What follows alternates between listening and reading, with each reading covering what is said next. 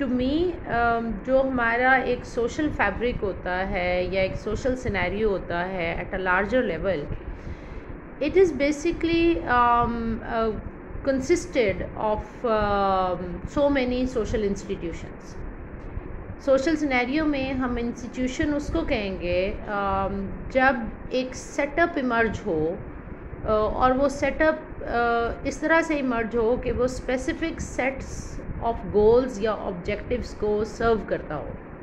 बिल्कुल इमरान जैसे आपने कहा so this this is a setup that emerges और develops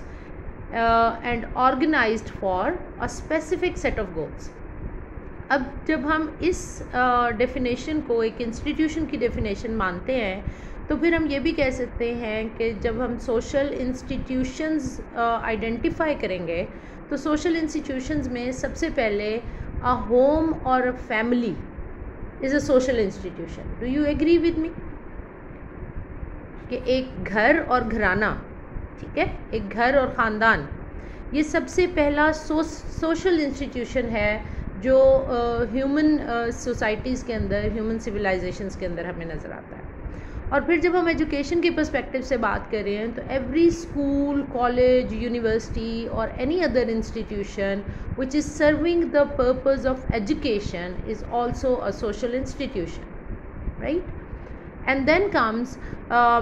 any any place of prayer any mosque any church any temple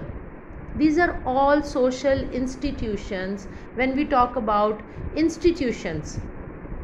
in a society or in a community. Any other social institution that you can think of